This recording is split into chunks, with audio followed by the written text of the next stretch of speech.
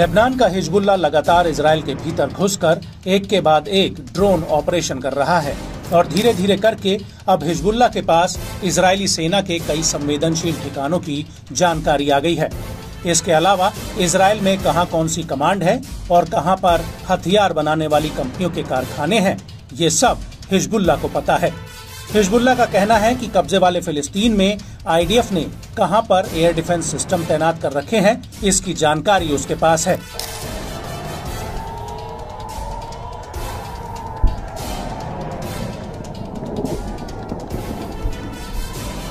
और अगर इसराइल ने हिजबुल्ला से युद्ध किया तो ये जंग इसराइल को बहुत भारी पड़ जाएगी। ये बात हम नहीं कह रहे, बल्कि इसराइल नेशनल सिक्योरिटी स्टडीज़ यानी आईएनएसएस ने की है।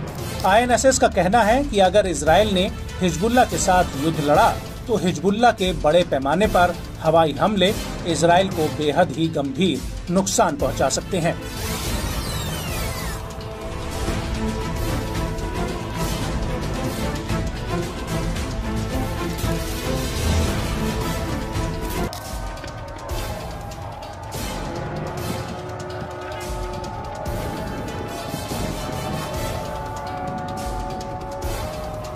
आईएनएसएस का कहना है कि हिजबुल्ला ने 8 अक्टूबर 2023 के बाद से 5000 से ज़्यादा रॉकेट, मिसाइल और ड्रोन इसराइल की तरफ़ दागे हैं।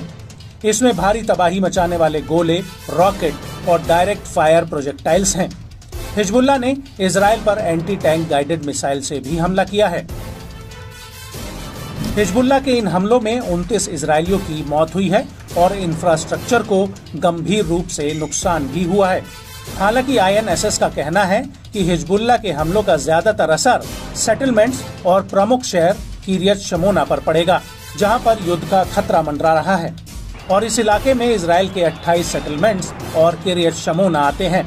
हालाँकि यहाँ से नागरिक आबादी को पहले ही निकाल दिया गया है, लेकिन हिजबुल्ला के हमलों की वजह से सेटलर्स इन इलाकों में अभी तक वापस नहीं लौट पाए हैं।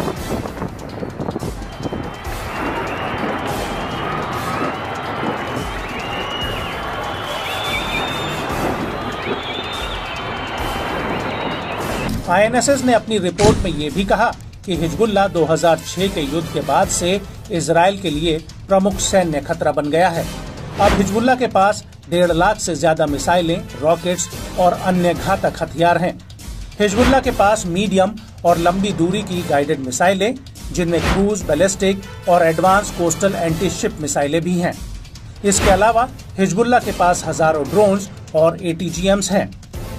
यही नहीं, हिजबुल्ला के पास एडवांस साइबर सिस्टम है, जिसे सैन्य हथियारों के साथ जोड़ने पर, नागरिक ठिकानों और सैन्य टारगेट्स पर भारी तबाही मचाई जा सकती है। और अगर ये जंग एक महीने तक खिंची तो इससे इसराइल को गंभीर नुकसान हो सकता है।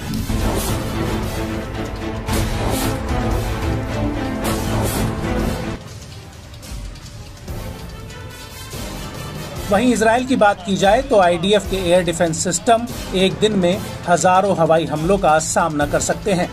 लेकिन ऐसा नहीं कि आयरन डोम या अन्य एयर डिफेंस सिस्टम सभी हमलों को इंटरसेप्ट कर पाए।